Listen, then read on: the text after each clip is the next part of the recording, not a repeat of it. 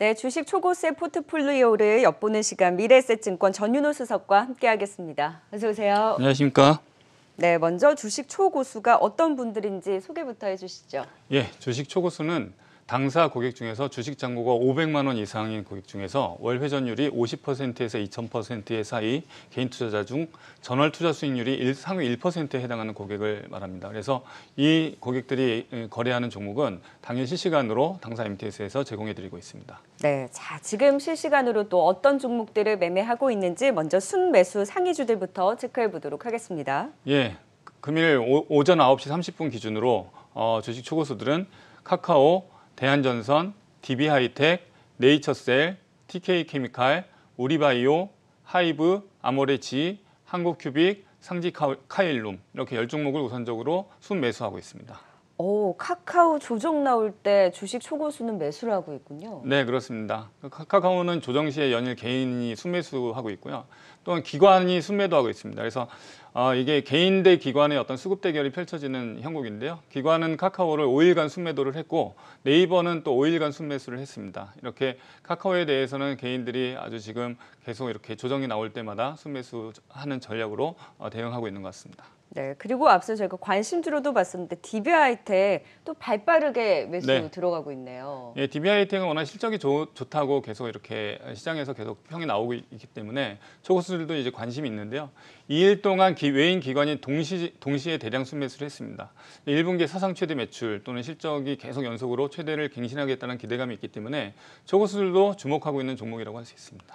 네, 예. 사실 앞서선 저희 카카오 지금 이렇게 조정 나올 때 매수는 좀 자제할 필요가 있다. 하지만 선수라고 하는 정말 예. 이제 손이 빠르신 분들은 이런 트레이딩 전략으로는 볼만하다라고 했는데 주식 초고수 분들은 뭐 선수시니까 네. 지금 카카오에 대한 일단 조정이 나왔을 때 매수, DB하이텍도 실적을 보고 또 매수가 들어가고 있고 또 특징적인 게 있을까요? 예, TK 케미칼을 말씀드리고 싶은데요. 이제 해운주가 오늘 또 계속 또 많이 오르고 있습니다. HMM도 조정을 받다가 오늘 또 많이 오르고 있고 페노션도 좀 계속 연속적으로 상승을 하고 있는데요. 이제 TK 케미칼은 이제 본업이 스판덱스가 있고 그 스판덱스 매출 확대뿐만이 아니라 자회사로 SN그룹이 SM 상선이나 대한해운 등을 갖고 있습니다. 그래서 해운주에 약간 속하는 개념으로 지금 초고수들도 계속 사고 있고요. 기관이 2일 연속 대량 순매수를 했고 실적이 기대되고 있습니다. 시총이 6,800, 6,800억 원인데 1분기 순이익이 467억 원이 나왔어요. 그러니까 연환산 수익으로 우리가 약간 rough하게 계산을 해보면 상당히 좀 저평가, 그러니까 PER가 한 4에서 5 정도 되는 저평가주라고 볼 수 있고요.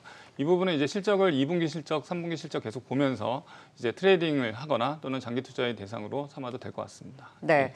자, 해운 관련해서 이제 TK 케미칼에 대해서 매수가 들어가고 있는 반면에 그렇게 사랑했던 HMM을 사고 있지 않습니다. 지금 네. 순매도 상위에 그런데 HMM이 들어가 있어요. 네, HMM 이제 수매도에 지금 오늘 어, 6위에 들어가 있고요. 이제 최근 5일 데이터도 보면 HMM 계속 팔고 있습니다. 사랑이 아무- 이제 식었네요. 예, 아무래도 12 발행에 대한 이슈가 있고 HMM 같은 경우는 이제 이미 많이 주가 올랐다는 분석이 계속 나오고 있기 때문에 그런데요. 이건 사실 실적만 보면은 뭐 앞으로 다시 언제든 매수 수매수로 돌아설 수 있는 가능성이 보이고요. 어, 이 순매도 데이터 중에서 지금 4위에 SKC가 지금 있는데요. SKC는 어, 뭐 많이 알고는 있겠지만 최근에 이제 시장 흐름이 성장주로 바뀌면서 2차 전지주가 다시 가고 있는데 이 SKC도 연일 신고가를 갱신하고 있는 종목입니다. 세계 1위 전기차 동박 회사를 인수를 한 2년 전에 했고요. 그 다음부터는 전기차 실적이 계속 소재에 대한 동박 실적에 대한 어떤 실적 기대감이 계속 살아있는 주식이고 기관이 특이하게 10일 동안 하루 빼고 연속으로 순매수하고 있습니다. 그래서 전기차 시장을 보시면 SKC도 어, 관심 리스트에 좀 넣어두는 것이 좋지 않을까 생각해봤습니다. 네, 두산중공업이 지금 순매도 1위 종목인데 네. 좀 확장을 해서 5일간의 매수 흐름 속에서는 또 두산중공업을 매수를 했던 것 같아요. 또 네. 5거래일 동안의 순매수 상위주들도 체크를 해볼까요? 예. 지금 두산그룹주가 두산중공업, 두산퓨얼셀, 두산인프라코어 이 세 개의 주식을 이제 5일 동안 순매수를 했고요. 그다음에 아까 잠깐 말씀드렸지만 카카오는 5일 동안에 팔고 오늘 다시 사지만 네이버는 5일 동안 순매수를 했습니다.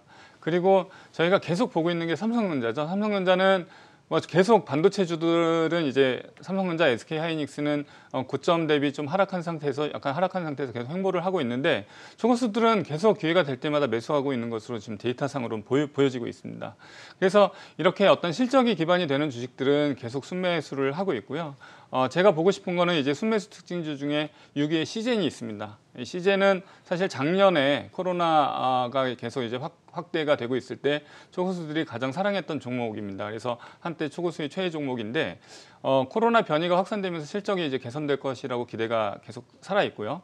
어, 중요한 건 이제 이 씨젠을 바라보는 관점이 next 비즈니스가 있느냐 이런 거에 따라서 이제 사실 시장의 판단이 지금 갈리, 갈리고 있는 것 같습니다. 그렇지만 이제 시총이 현재 4조 어, 한 5천억 정도 되는 상태에서 2020년 이익보다 이익은 증가되고 있고 컨센으로 봤을 때는 PER가 PER이 한 10 under의 어떤 약간 저평가라고 볼 수 있습니다. 바이오주 중에서. 그래서 기관이 6일 연속 순매수 중인데 이 내부 유보금으로 어떠한 비즈니스 할 것이냐에 따라서 이제 평가가 갈릴 것 같습니다. 그래서 초고수들은 지금 5일 동안 사고 있다. 그래서 씨젠도 한번 좀 봤으면 좋겠습니다. 네, 예. 시장 최근에 강한 흐름을 보이고 있는데 지금 꾸준한 순매수가 들어가고 네. 있다라는 부분은 좀 더 볼만한 여지가 있고 무엇보다 두산중공업은 샀다 팔았다 지금 고점 부근에서 조정받는 구간에서의 좀 트레이딩 전략으로 대응을 하고 있는 것 같습니다. 네. 여기에 삼성전자와 또 삼성 엔지니어링을 꾸준히 담아가고 있다라는 부분도 특징적인 것 같고요. 네. 네이버는 순매수를 했던 반면에 카카오 는 그동안 팔았다가 오늘 다시 매수가 들어가는 거라고요. 네, 그렇습니다. 이제 카카오도 계속 주가가 급등하고 있기 때문에 개인은 8일 동안 순매수를 하고 있습니다. 그래서 기관은 기관은 연속으로 매도하고 있습니다. 그래서 네이버와 카카오는 개인과 기관의 수급이 계속 엇갈리면서 약간 수급 대결 양상을 펼쳐, 펼쳐지고 있고요. 뭐 이거는 계속 좀 지켜봐야 될 것 같습니다. 네. 자, 순 매도했던 종목들 카카오는 좀 매도를 하다가 좀 조정이 나왔을 때 오늘은 또순 네. 매수를 하는 모습을 보이고 있고 HMM에 대해서는 확실히 계속해서 좀 매도로 대응을 하면서 이쪽에서는 계속 수익을 좀 실현을 해 나가는 걸로 확인이 되고 있습니다. 네. 자, 그렇다면 5일 동안 순 매수했던 종목들 안에서의 상승률은 또 어땠을까요? 예, 상승률을 보시면 바이오주가 엄청나게 이제 강세였다라는 것을 5일 동안 알 수 있습니다. 역시 진원생명과학을 네. 시젠도 마찬가지고 솔고바이오도 마찬가지고 뭐 아이진 뭐 이렇게 셀트리온 제약 셀리드 이렇게 다 이렇게 열 종목 중에서 여, 여성 여섯 종목이 이제 바이오 주식일 정도로 바이오주가 강세였는데요. 사실 근데 실적 없이 오르는 바이오는 사실 좀 이렇게 주가가 많이 올랐지만 신규 진입하기에는 조금 주의를 하는 게 좋을 것 같습니다.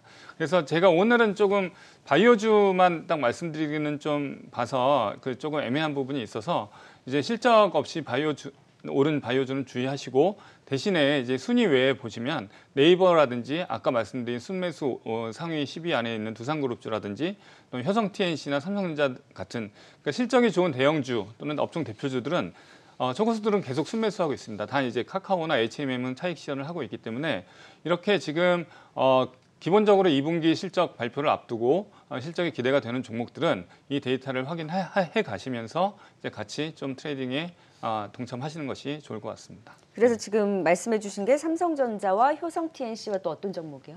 효성 TNC하고 그다음에 네이버, 두산주. 예, 두산그룹주 네. 이렇게 좀 턴어라운드하는 주식들, 아까 말씀드렸던 실적이 좋아지는 주식들은 저희가 좀 관찰을 해볼 필요가 있다고 생각이 듭니다. 네, 예. 그래서 순매수 종목 안에서는 지금 말씀해주신 종목들 중심으로 또 관심을 가져보는 전략까지 네, 진단을 해봤습니다. 네. 지금까지 주식 초고수의 선택 미래에셋증권 전윤호 수석과 함께 살펴봤습니다. 고맙습니다. 감사합니다.